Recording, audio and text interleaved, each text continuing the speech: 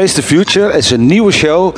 Wat de mensen kunnen verwachten is een, nou, natuurlijk een magisch spektakel. Hè. Ik spot natuurlijk met de natuurwetten. Geen mens kan zweven, geen mens kan in een seconde oplossen en weer ergens anders in de zaal verschijnen. Wat er heel nieuw aan is, ik heb een avatar in het leven geroepen, maar die wordt veel populairder dan ik. En ik word ook een dagje ouder. Dus ik moet die avatar Uitschakelen. uitschakelen. Dat kan, maar daarvoor moet ik in de toekomst. Daarvoor heb ik een time machine, die hebben jullie net gezien.